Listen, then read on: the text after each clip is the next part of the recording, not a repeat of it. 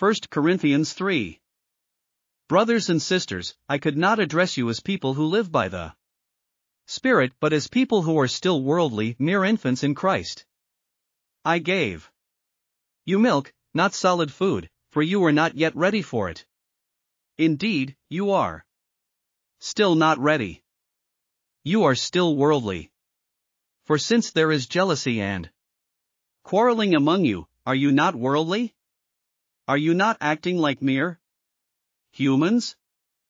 For when one says, I follow Paul, and another, I follow Apollos, are you not mere human beings? What, after all, is Apollos? And what is Paul? Only servants, through whom you came to believe, as the Lord has assigned to each his task. I planted the seed, Apollos watered it, but God has been making it grow. So neither the one who plants nor the one who waters is anything, but only God, who makes things grow. The one who plants and the one who waters have one purpose, and they will each be rewarded according to their own labor. For we are co workers in God's service, you are God's field, God's building. By the grace God has given me, I laid a foundation as a wise builder, and someone else is building on it but each one should build with care. For no one can lay any foundation other than the one already laid, which is Jesus Christ. If anyone builds on this foundation using gold, silver, costly stones, wood, hay, or straw, their work will be shown for what it is. Because the day will bring it to light. It will be revealed with fire, and the fire will test the quality of each person's work.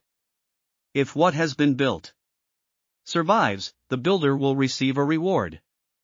If it is burned up, the builder will suffer loss, but yet will be saved even though only as one. Escaping through the flames.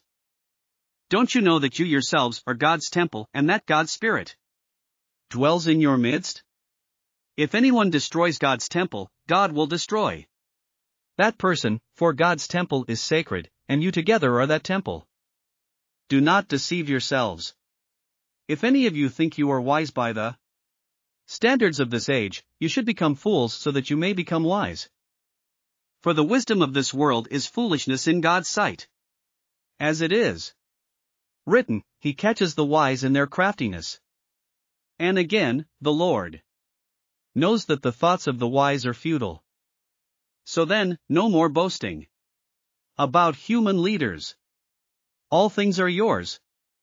Whether Paul or Apollos or Cephas or the world or life or death or the present or the future, all are yours.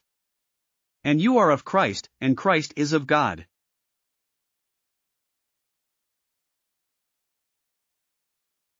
Thanks for listening to another chapter of the Bible. At My Faith Fuel, we believe a good coffee fuels your faith and energizes your day. Please visit myfaithfuel.com to explore our delicious coffee blends. Part of each purchase goes to training worshippers around the world. Thanks for listening.